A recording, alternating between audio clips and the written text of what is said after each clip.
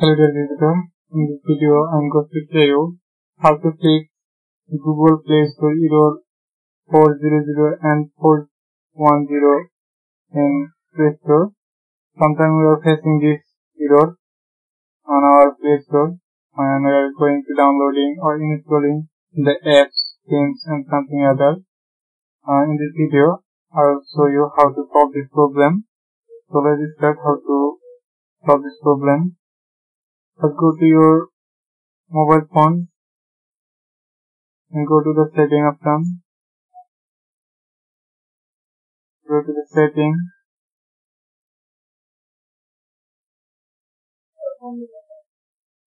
Now do the apps.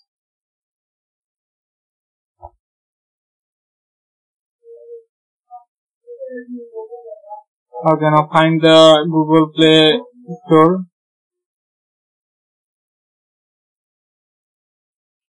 Now go to the storage.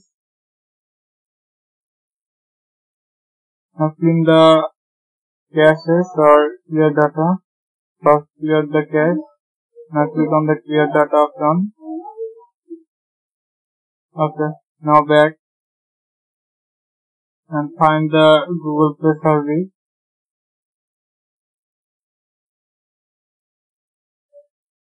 After clear the cache and data, click on the clear cache, go to the manage option, Now clear the data. Okay, mm, the service is now successfully fetched.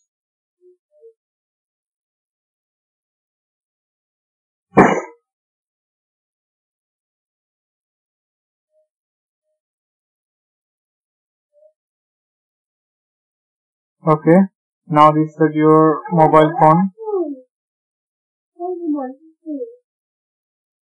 Now restart your phone. After restarting your phone, your problem will be solved. Uh, they have another way uh, before uh, do that. You can disconnect your internet connection from your mobile and restart your phone uh, and uh, restart after 5 minutes I hope uh, this is another solution for this problem. So enjoy your solution. Thanks for watching my video and please subscribe my channel for the next video. Thank you.